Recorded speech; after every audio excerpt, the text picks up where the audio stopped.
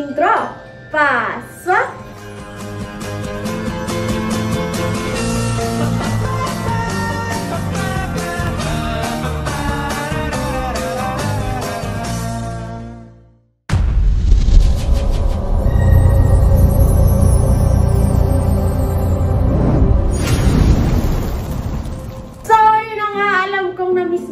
guys dahil matagal-tagal din ako walang upload dito sa aking YT channel and also sa mga social media accounts ko. And sigurado nagtataka na kayo bakit wala si Mami Papi sa mga vlogs ng Toro family members. Kung bakit wala ako lagi sa mga videos, mostly sa mga photos nila, wala rin ako, hindi ako kasali. Totoo po kasi ang chismis, mga marites. Opo, base naman sa title na tong video na to, alam niyo na yon Ayan. Uh, i-explain ko lang sa inyo guys kung bakit nga ba ako nawala ng matagal. So, ayun na nga, let's get into it. Wala na ng paligoy-ligoy pa. Ito talagang move na ginawa ko sa buhay na to is very, very talagang big step or big decision para sa akin. Kasi ako, as a sarili ko, hindi ko maiwasan na magkaroon pa rin ng insecurities sa katawan ko especially sa kung paano yung itsura ko, ganun. So, hindi ko pa rin maiwasan ma-insecure about sa itsura ko, the way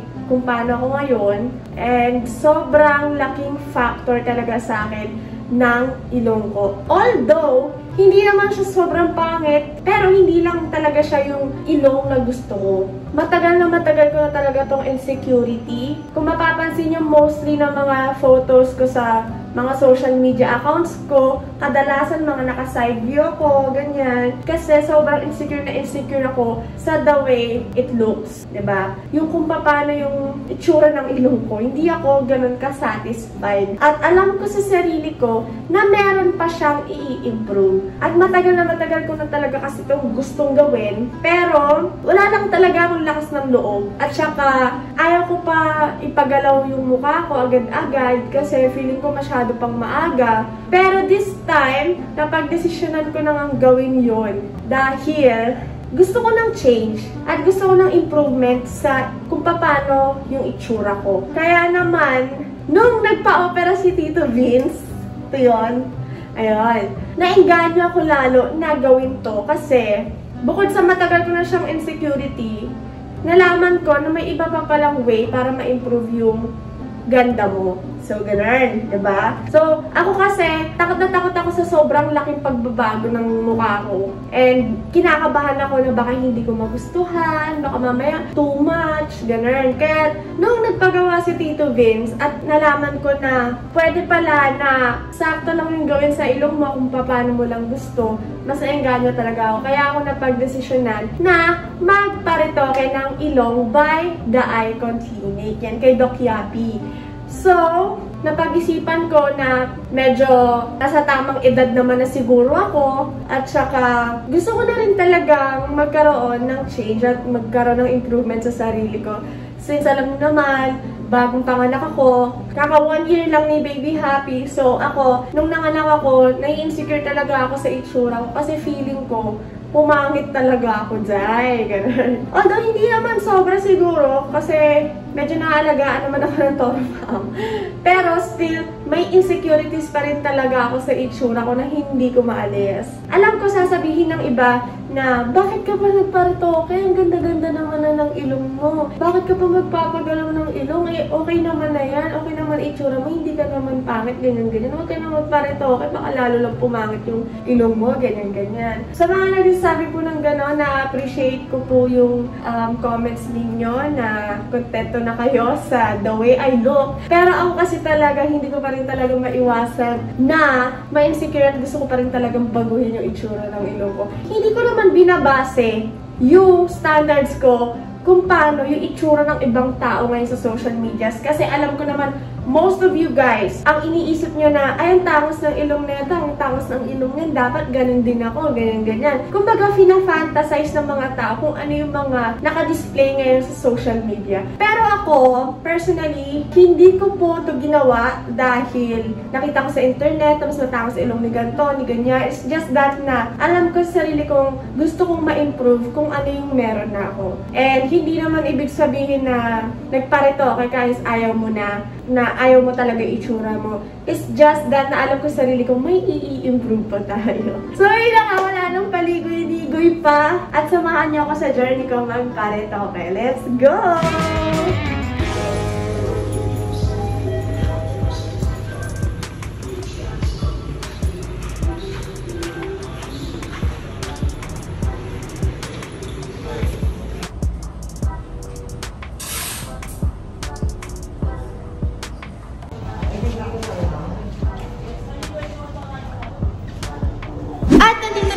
Sa operating room kasama ko si Doc Yami. How are you? Sobrang excited na ako, Doc. Game na tayo, game na tayo. Yes, game na tayo. And ayun na nga, sobrang excited ko. Pero bawal kasi baka tumaas yung baby ko, Doc. so yun na nga, see you guys later kapag nagawa ng ilong ko. At ayun na nga, nakita nyo naman na, di ba, pumasok na ako sa operating room. At alam ko, medyo nabitin kayo doon. So ito, ipapakita ko naman ngayon sa inyo kung ano ang mangyayari next. After kong maoperahan ang 7 days post-operation actually. So ayun, samahan nyo ako ulit sa journey ko.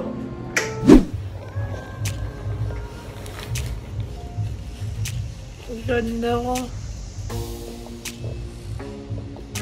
Nasa recovery room ka naman. Tapos na yung surgery.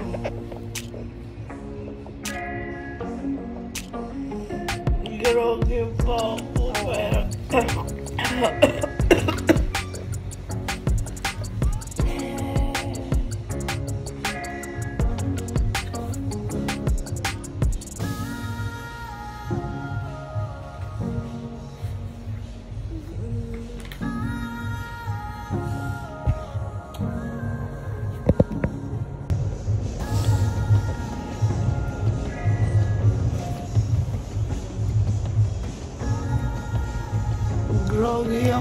Ako sobra.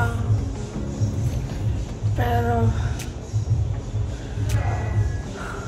Vlogging is like rock rock. Eh. ah. Vlogging is like rock rock. Eh. Nalalasahan ko yung gamot. Ayun, recovery room na ako. Ah.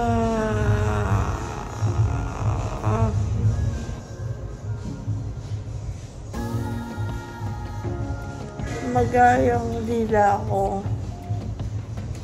Dito banda. Maga. Ay, hindi yun siya maga. Actually, manhead. Yun yung feeling niya. Eh, nasusuka ako. Pero, tinatry ko hindi sumbuka. As much as possible. Kasi ayaw kong magpwesa yung ilong ko. Oh. Hello po. Andiyan na po ba sila? On the way na. Oh. Medyo nahihilo ako. Manhid yung dila ko. Ito.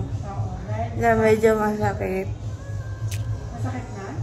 Hindi naman sobrang sakit. Pero, parang mo yung parang hiniwa. na masakit. Yun yung feeling niya. Hindi ko naramdaman yung pagising ko nangangatog ako ng sobra and then sobrang nasusuka ako. Nasuka ako. Naalala ko nasusuka ako. Pero hindi ko naramdaman yung sobrang chills.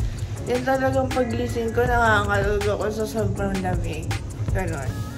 Pero ngayon medyo mas mild na nasuka lang ako dahil nga sa anesthesia.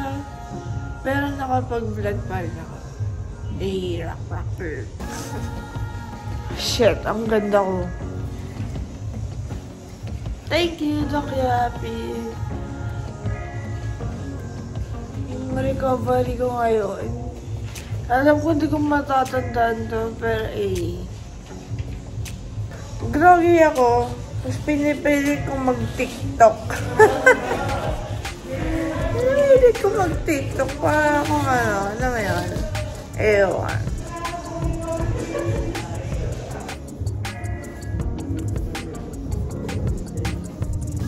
Hi, Doc! Hello. Nagising na ako. Kahit grabe ako, nagtitiktok ako. Huwag mo nga, pambulunta ka. Hindi, Doc, kasi ano, ah, talagang pinagandaan ko yung TikTok ko ng operation. Kaya kahit groggy ako, alam ko na kailangan ko mag-TikTok. Push mo yan, dear. Ayun guys, medyo nawawala-wala na yung groggy ko. Pero, nakapag-tiktok na ako. And, uh, sabi nila, nandito na daw yung sundo ko. So, ayun. Uwi na ako sa wakas. Excited na ako umuwi. So, ayun guys, ina-explain lang ng nurse yung gamot ko dyan sa mga sundo ko. Pero, ako naman, meanwhile, ayan, recovering pa rin. And medyo groggy, nahihilo dahil sa effect ng anesthesia. Pero, gising na ako. Sheesh! so, nilagyan nila ako na itong, ano ba to? Gaza. Kasi, yung ilong ko, nagdudugo ang tumutulo. So, para ma-prevent na kumalat-kalat siya, ito, nilagyan nila ako. Ay. Naka-wheelchair na ako. Eh, uh, sinisinok ako, guys. Papunta na ako sa doon, kung saan man. sa CR kasi mag magbibihis na ako kahit sinisinok ako. And andyan na yung sundo ko. Uh, sinisinok ako? Eh, rock, rock, eh. Magbibihis na ako para makauwi na ako. Guys, sinisinok pa rin ako still. Pero kaya yan. Nakabihis na ako. And it's time for me to go home. Medyo nag-groggy ako kasi sinisinok ako. Sinisinok pa rin ako. Ah. Uh, sinisinok ako. Sabihan ko sila Ayun guys. Nakamask na ako kasi lalabas na ako. And still, sinisinok pa rin ako.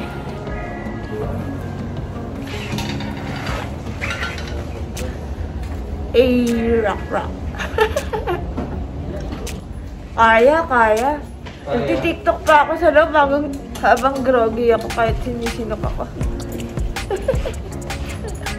so, ito po yung mga sundo ko. Si tatay, si Tito Green, si tatay. Kotse na ako! Map, dahan-dahan. Bawat chinelas ko. Ingat-ingat tayo, ingat kay Papi.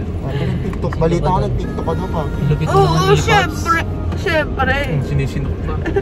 Ah, Sinisino, kumain ka ba ng itlog doon? Pahinga ka Ewan muna. ko ba sinisino ako? O, sige na, pag mahinga. Pag mahinga na. Pahinga, pahinga, pahinga, pahinga.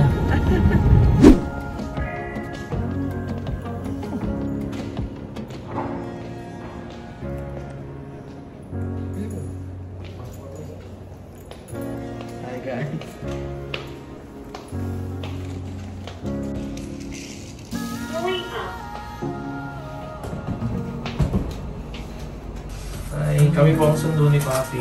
Makaalis ko na to, part 2 ng wheelchair. Si Papi.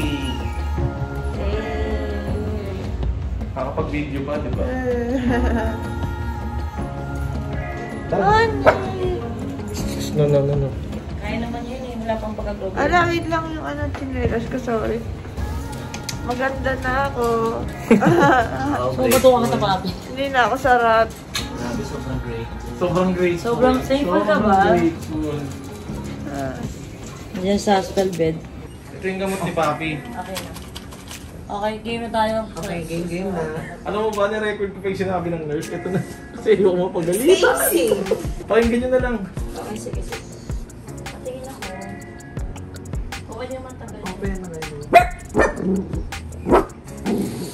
Ang daming dugo. No speed ka, mami. English.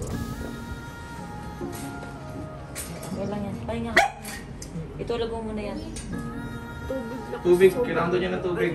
Okay, kalma. Shot! Shot pa!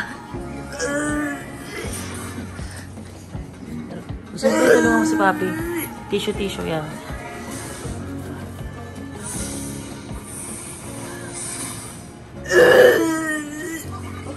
Alalay lang sa ilong, ilalay lang. Oo. Susuka ka pa? Tissue. Tissue pa tayo. Oh, dahan-dahan lang, Papi. Dahan-dahan. Huwag mo persahin masyado. Hmm. Sige lang. I feel you. Pakita na natin. My heart go, shalalalala. Wala pang 24 hours si Papi. Tingnan natin kung ano maging reaction. Papi. Anak. Ay, mami? Ay ka na? Ay ka na? Ay, kilala niya yung mommy niya. Kahit yun ang itsura ng nanay niya. Kilala.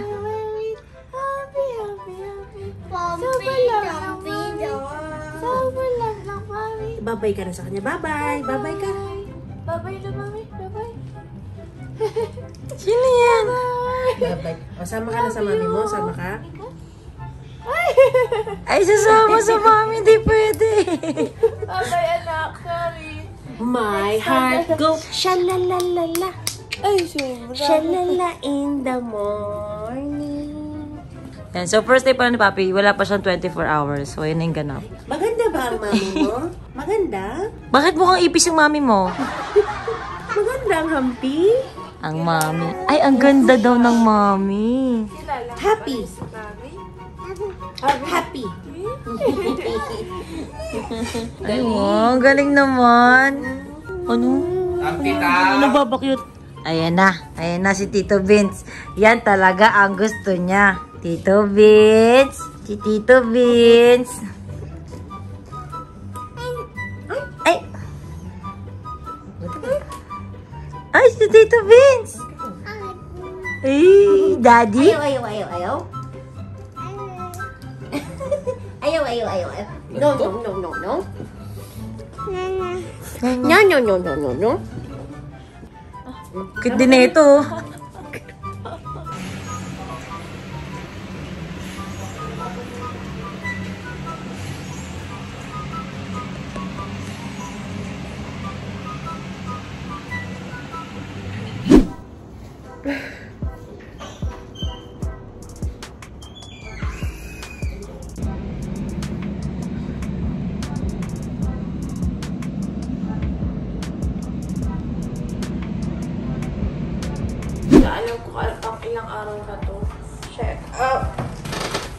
Halawa. Kung ano bang lagay ng ilong ko. Bakit ko hindi pa tayo mag-ama? Kirat. Parang nabugbog. Ang burn. May pangamoy ka na. Fourth day ko na ngayon. And nandito kami ngayon kasama ang buong Toro family. Tambay mo. Tambay sa sila. Kagantuan lang kami. Medyo okay-okay naman na yung pakiramdam ko. And actually, hindi naman siya masakit. Hindi siya masakit talaga. Ano lang, alam ko nagtataka kayo kung bakit may pasa-pasa, ganyan, magang-maga. Mukha lang siya masakit araw. pero hindi talaga. Promise. In fairness naman. Akala ko talaga kasi talagang dadaing ako dito sa sakit. Pero wala. Easy-easy lang talaga. Worst part lang nito, ang katina niya kasi gumagaling na yung mga sugat. Siyempre, ang number one na nag-aalaga sa akin. Mami, Oni. Peran mo ako. May, may, may TF2. Hindi siya libre. At na, dali na. Wait lang, bye-bye. Day 5 post-op na ako ngayon. And as you can see, nakamask ako. Kasi habang naliligo ako, nag-loosen up yung cast and then natanggal.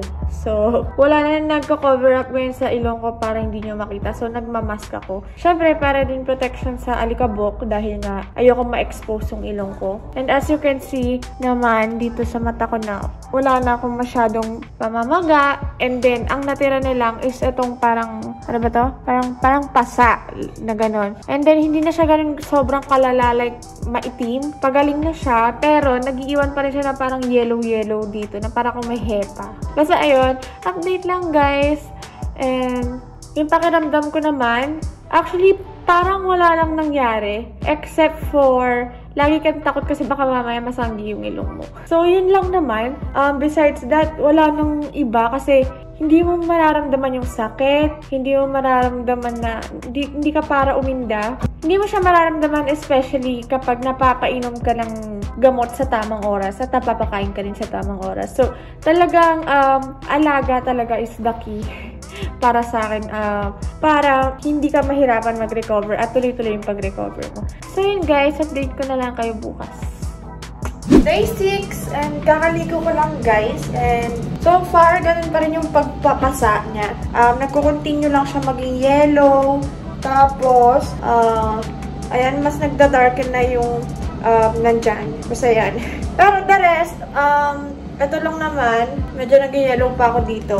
So, ayun, mukha pa rin akong may hepa. Pero, medyo nakaka-recover naman ako at sobrang okay na talaga ako. And bukas, magwa one week na ako. So, sobrang saya ako. Ang bilis ng araw pag nagpapabiling ka. Especially kapag naalagaan ka ng tama. Siyempre, bago ang lahat, gusto ko muna i-shoutout ang buong Tora family na tumutulong sa akin sa pag-recover ko sa pagpapareto kay ko ng ilong. Yes, mother! So, ayun. Siyempre, special mention natin dyan si Mami Oni na lagi nag-aasikaso ng mga gamot at saka mga, you know, panlinis, mga ganon, kaek-ek na kailangan sa pagpapa-opera. So, ayun. See you guys tomorrow. Wala na, hindi ko na alam kung pang ilang araw ko na. Natante yung sinabi ni ate. So, today, sana tanggalin na yung tahi ko. Nakita nyo naman, di ba, wala na masyado mamaga. And also, yung mga bruising, hindi na siya sobrang kasing lala as in nung, kasi nung una. Na sobrang hindi na makakita. The last time na pumunta ako dito. Ayan, tatanggalin na po natin yung pasta. Ay yung, ano, nangyari yung pasta? Nang fall off siya. And then, nagmo-moist kasi yung ano ko, nag-oil na nag-oil. Yung tape, natatanggal na lang Ano talaga tanggal siya. din po? Eh, dito na eh. Ah, sige. Dinadaan ko na lang ng ganun kasi nababother ako.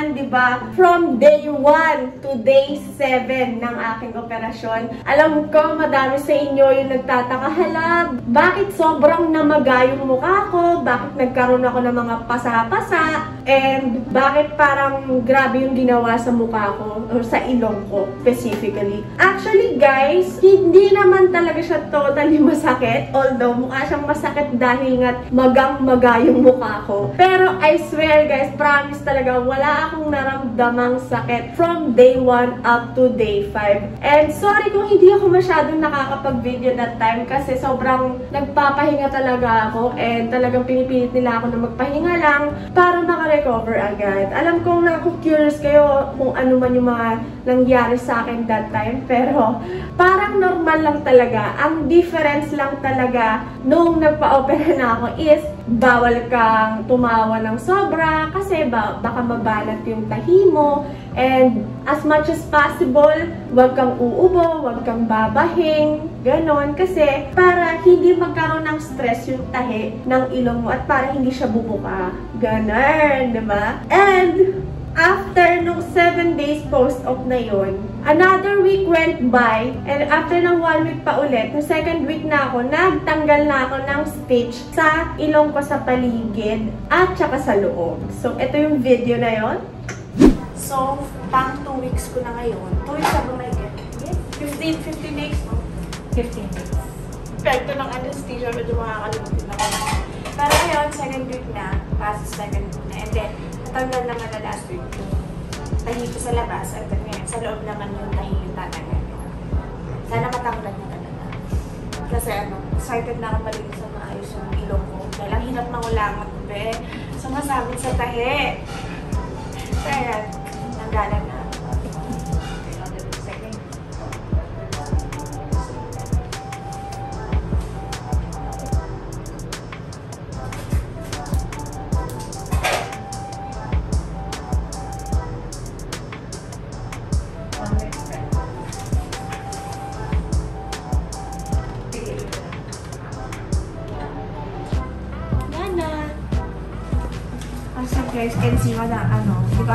Alam yung kulangot. Tanggal na siya guys. Yay. Wala nang sasabit. Ano pa yung feeling na may kulangot ka na hindi mo matanggal? Ganon siya tayo. Ang hirap. Ngayon, chat-chat naman nila yun ako. Tenga ko kung pwede na. Yung ladies niyo po, dito po, sa likod, dito po sa O, di ba? Medyo blurred pa rin. Hindi ko pa rin syempre ipapakita dahil gusto ko ma-surprise kayo. Pero ayun, yung pagtatanggal naman ng tahi, guys, actually, hindi siya masakit kasi medyo manhid pa yung pakiramdam ng ilong mo. So, wala ka talagang mararamdaman na sakit nun by that time pa. And syempre, mas mabilis akong gumaling sa first week hanggang sa second week kasi kailangan talaga guys maayos yung oras ng inom nyo ng gamot, maayos yung oras nyo ng pagkain, nakakatulog kayo ng maayos, naaalagaan kayo ng tama para ma-prevent natin yung mga complications post-operation. So, kailangan talaga sa inyo may nag-aalaga, may nag-aasikaso para talagang mabilis kayong gumaling at saka mabilis mawala yung maga ng mukha nyo. So, ayun guys. Alam ko, sobrang hinintay nyo mag-post ako ulit ng video kasi talagang matagal ako nawala. Pero ito na nga. Sana na-enjoy nyo tong video na to. And sana alam nyo na kung bakit ako nawala ng napaka, napaka, napakatagal sa YouTube channel ko. So, ayun na nga guys. Maraming, maraming, maraming salamat. Siyempre, una sa lahat kay Doc Yapi for making this possible. Siyempre, alam niya na sobrang grabe yung insecurity ko sa ilong at sobrang laki ng ininggit ko nung nagawa yung ilong ni Tito Vince kasi very, very subtle yung change kay Tito Vince pero ang laki pa rin ng in-improve. And also, gusto ko magpasalamat din syempre kay Mami Tony Fowler na nag-alaga sa akin the whole time at syempre sa Toro family members na tumulong sa pag-aalaga sa akin, sa pagdising sa akin, pagpapakain at pagpapainom ng gamot. Diba? Ayun na nga guys, sa mga tao na gusto ng change sa itsura nila, pero ayaw nila ng sobrang-sobrang laking changes at gusto nila na very, very subtle lang yung change sa mukha nila na kumbaga hindi masyadong madaming inayos. Kung may gusto kayong ipa-improve sa itsura nyo pero konting-konti lang, kayang-kaya ni Doc Yapi yan dahil kay Doc Yapi, happy ka. Diba? And guys, alam ko nagtataka rin kayo kung bakit ako nakaganito ngayon, kung bakit ako nakatalukbong. Malalaman niyo yan sa next video ko. So, ayun na nga guys, abangan niyo yung nose reveal video ko. And I hope you really like this video and please, mag-subscribe po kayo sa lahat ng YouTube channel ng buong Toro family. And also, huwag niyong kakalimutan na mag-like sa page ni Baby Tyronia and sa page ni Bear. And also, syempre, last but not the least, huwag niyong kakalimutan mag-like and follow sa lahat ng social media accounts ng The Icon Clinic and kay Doc Yapi. Shoutout po sa The Icon Clinic for making this possible and kay Doc Yapi. Again, thank you, thank you so much from the bottom of my heart kasi sobrang saya talaga ng puso ko ngayon kung alam niyo lang. so yun na nga guys. I'll see you on my next video. Please do like and subscribe.